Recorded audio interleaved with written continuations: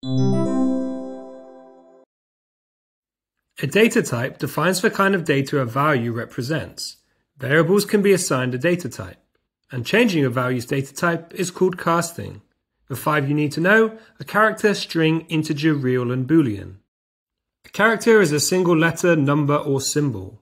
A string is a sequence of characters. You can see in these examples that speech marks are required for both strings and characters.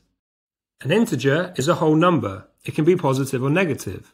A real, or float, is a decimal number, which again can be positive or negative. Integers and reals do not need speech marks when written in a programming language. A Boolean value is either true or false. It requires a capital letter and does not use speech marks. Converting a value to a different data type is called casting. Casting is often used when inputting data to convert the value to a data type other than a string.